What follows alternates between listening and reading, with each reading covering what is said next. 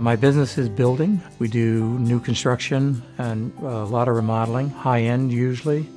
We've decided to move ahead with a growth plan here, um, and we'll be doing remodeling um, and adding on to our shop.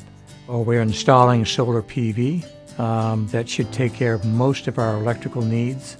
Uh, we are removing uh, two fossil fuel heating systems, and we are uh, replacing that with heat pump systems.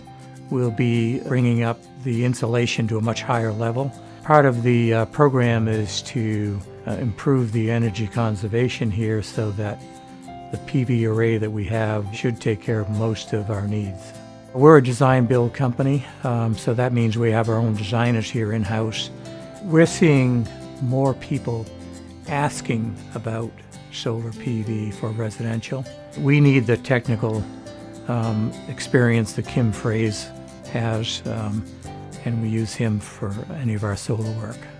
Growth of solar has been very good for my business. Uh, you know, I started in 2000, looking at 2008, so 2009, you know, I do 20 to 30 jobs and an increase. So now I'm doing uh, 60 to 70 jobs, and now it represents about two thirds of my sales.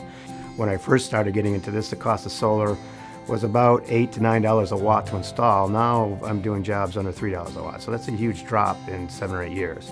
And it's you know competition and technology and, and whatnot. And you know if it wasn't for the incentives, we wouldn't be where we are now. And I wouldn't have gotten into it because it was you know it, was, it would have been too much of an investment for the few jobs I would have gotten without the incentives. Now solar's not going to solve all our renewable energy needs by any stretch. It's a small piece of the pie, but uh, it is a great fit with heat pumps, uh, especially on the air conditioning end, because Usually when you're using the most air conditioning, the sun's out the most and the solar's working the best. The reason I'm doing this, uh, this project from a business standpoint is to save money, to uh, make a statement that we're a green company, um, and to uh, hopefully uh, corner some of the market for green building.